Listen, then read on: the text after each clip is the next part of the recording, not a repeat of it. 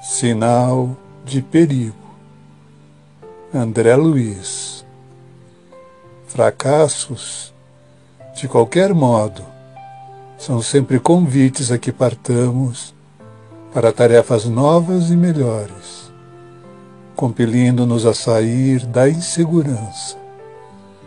Dedicações incompreendidas são cursos de burilamento íntimo em que podemos aprender a amar sem o culto do egoísmo, no qual sermos amados costuma ser a nossa preocupação.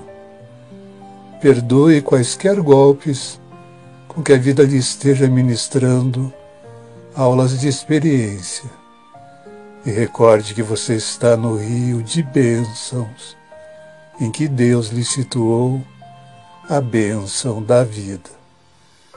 O trabalho, especialmente quando se expresse por serviço aos outros, é o preservativo que nunca falha contra qualquer perigo no campo do espírito. Ressentimento é sempre indução à enfermidade e desequilíbrio. Diante de problemas e obstáculos com que sejamos defrontados nos caminhos do tempo, recorramos à prece e a oração nos renovará por dentro, transfigurando a sombra em presença de luz. Assim ser.